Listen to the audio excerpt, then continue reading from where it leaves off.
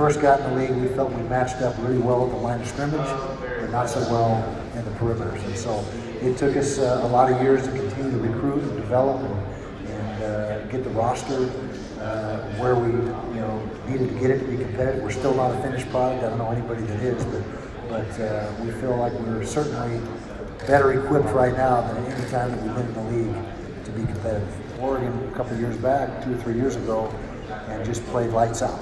And just, you know, it's like, because they're a heavyweight. Oregon is a heavyweight in the Pac 12, there's no doubt about it. They're a, quality program, they're, they're winners. And uh, to go up there and to uh, be able to, to win convincingly, I think that was a breakthrough in our program. Hey, we can stand toe to toe with anybody, home or away. And if we play the way we're supposed to play, we got a chance.